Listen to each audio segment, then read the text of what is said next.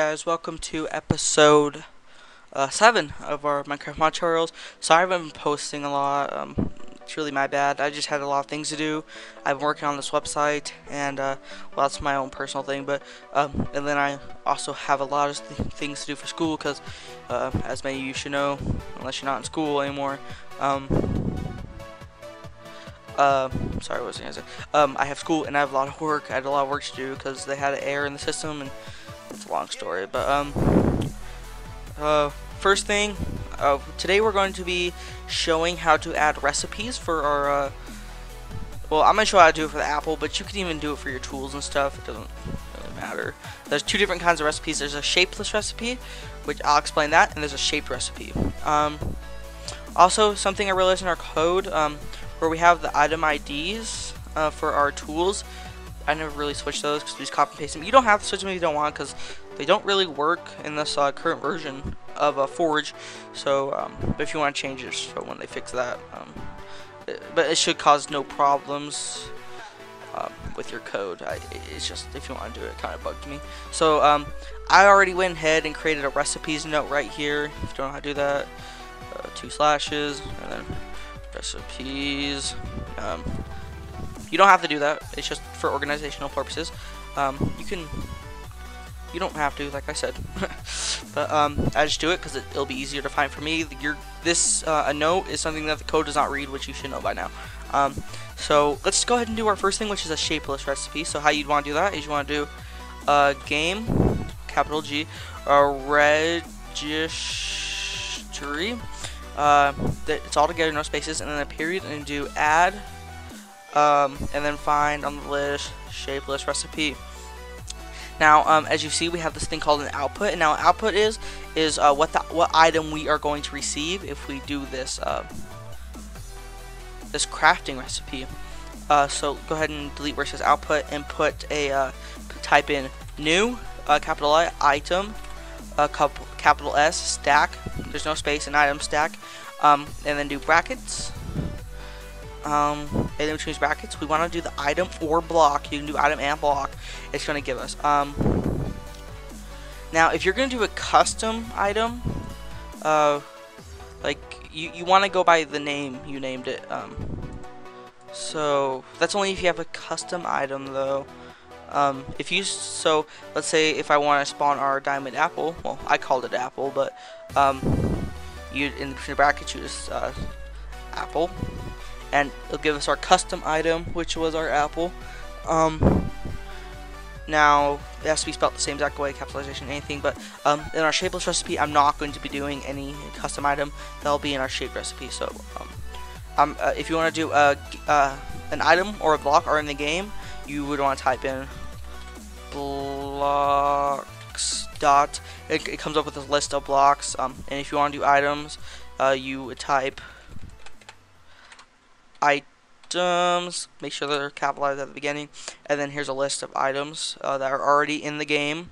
That's if you want to do an item or box in the game. Uh, in this one I'm gonna um, I'm going to be making how I'm just gonna like make a random block. So let's go ahead and do blocks dot uh, why don't we do bedrock? You can't make because uh, you can't make bedrock so it'll, it'll be a true example of something uh, and then the parameters are the things it's going to take. So how do you, um, how you add per, uh, parameters since it is a shapeless recipe? Uh, what shapeless means is I, if uh, let's say I wanted to make the bedrock by placing two pieces of paper, um, in our crafting table. Now, I can place these two pieces of paper in any section of my crafting table, and it will still work. Uh, example of a shaped recipe is like making a diamond pickaxe or something. How it has to be, each item has to be put in a certain way. But, um, so we're gonna type in. Um, now, how to add things like that. Um, since we're in our parameter section now, oh, we go ahead and type. I'm gonna make it take uh, a block. Uh, let me think. Uh, I'm going to make it take a bucket of lava and a bucket of water. No. Uh, just for example, I'm going to make it take two pieces of paper. Um, just for example. So we'd want to do uh, items dot paper paper, and then we do. Uh, we can't um, just state that we want to do two by doing comma two. Uh, we have to do comma and then typing this in again. So items dot paper. Now let me remind you, uh, you can do up to nine of these because there's nine slots in a crafting table. Um, so we got two pieces of paper. Um, and then if you want to add a block, you just do comma blocks dot. Uh, then your block. But I'm just gonna do two pieces of paper for no specific reason. Um, but yeah, uh, like if you wanna, uh, you can only have up to nine of these, I believe, because there's only nine slots in a crafting table. So, uh, if like you can't, um, if you want to have more than like make it take two pieces of paper, you have to do, or two whatever, two two blocks, whatever block or item you want to do. You'd have to type in items. Um, you'd, you'd have to do it twice. There's no other way. You'd have to do it twice. Um, so if we go ahead and run the game, I'll go and the game run and then come back. Okay, we're back in the game now, and if we go ahead and go to our crafting table, and we have two pieces of paper, um, if we place two, look, uh, we can go ahead and get bedrock. Um, now, as you can tell, I can place these pieces of paper anywhere. Well, two pieces of paper anywhere. And it'll still do it because that's the point of a shapeless recipe. Uh, if you want to make it give you more than just one item, uh, all you would do is go to new where it says new item stack and then your block and after where it says um, the states of the block you'd want to do comma and then type in whatever number you want to give so if we do you can only go up to 64 though well you can go higher but it would be a weird stack I guess um, and if we did 64 would, or 32 or whatever you want to do, give it 2, uh, it'll give us 2 bedrock. Um, but you understand. So if you type in uh, you type in the number there of which you want it, how many you want it to give the player. Sorry if I'm stuttering a lot. So now if I put in 2 after the comma, it'll give us 2. So yes. Uh, now let's do a shapeless, a shaped one. Uh, sorry, this video's taking a long time. Uh, game registry dot add shaped recipe. Okay, now the output, of course, is the item it's gonna give the player. So uh, let's go. I want to make uh, one for our diamond apple. So we're gonna go uh, new. Uh, I did a capital N. Uh, new uh, item stack. Make sure it's capitalized. Um, and then do our brackets. And then we change brackets. We're going to go ahead and type in our custom block, uh, blocker item. And then the parameters is, of course, the things to take. Now, this is kind of confusing. Um, okay, so we're going to do, we, we want to place uh, quotation marks, and we want to place, and make sure there's two of them in each one. So uh, we want to put uh, two quotation marks, a comma, um, two quotation marks, comma, and then uh, two quotation marks now. Automatically, it should just place two just by pressing the key for quotations, uh, should just put two instead of one. Um, but yes, um, okay, so each one of those quotations uh, stands for a layer in the game. So I'm going to go ahead and expand this because it's hard for you guys to see it, but that does not help at all. Okay, doesn't matter. Um, just zoom in. Um, so um, this is the top layer for the uh, crafting table. This is the middle layer, and this is the bottom layer, of course. Um, so how this is done, if uh, so it goes by letters, and this is gonna take up a little time for the video. So how this works is it goes by letters. So if we put um, P for PPP for our top row, um, because uh, later in the code we're going to state what uh, P stands for, what item or block it stands for. So if we made it diamonds, then um, that means um, like this top row, we'd have to fill up with di uh, diamonds. Um, like you understand. I, I, I hope you understand. If you don't understand, I'm going to leave my Skype down in the description, and I'll personally should tell you guys um, and go through with you guys. So uh, there's PPP. Uh, you can type in any character you want, so you can type in XXX. Uh, they don't have to be capitalized either. I'm just gonna make it capitalized. So we're gonna do a uh, a diamond apple. So I'm gonna go ahead and so for for our example, X is gonna be the diamonds, and uh, we're gonna do I guess A for apple. So um, X uh, A X, and then here's our bottom row, and it's gonna be XXX. So um yeah, so I hope you understand that. It's kind of confusing. Um, let me go ahead and run the game and show you what it's going to look like. Okay, I went up and loaded just default Minecraft. Um, and, um, of course, it's not giving us anything because we're not done with the code yet. So don't think we're done with the code and you have some error because um, we're not done with the code yet. So as you see, move my mic closer to me. Um, so the X's in our code stand for diamond and our A stands for apple. Now these these uh, characters could be anything you want, so we could put PPP, um, but it, it, doesn't matter. Um, now if we wanted to like, for example, let me put my X's back.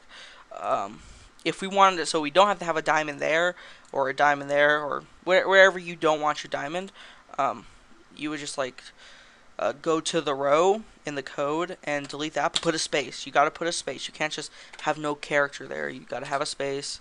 Um, so, like, let's say we have an entire top row gone. Well, there's got to be three spaces in between uh, these quotations.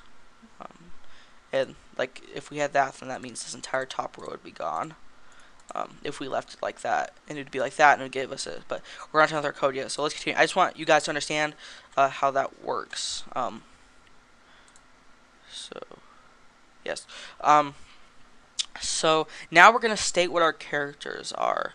So we're going to do comma and then do two uh, do two apostrophes, which if you don't know where that is, it's the same key as where quotation marks are. Uh, just don't press space and click that key, I guess. Um, and now we're gonna type in capital X or whatever character you put in for diamonds. Um, and then you're gonna do comma again, and you want to type in what item uh, X stands for. So in our example, it's gonna be diamonds. So we're gonna go items dot diamond.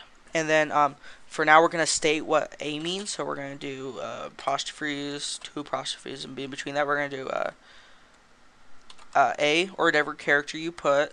Um, and then we're going to do comma and state our item. So items dot apple and end it with a um, quotation mark. Not uh, sorry, not a quotation mark, a semicolon. Sorry guys. Um, and, and that um.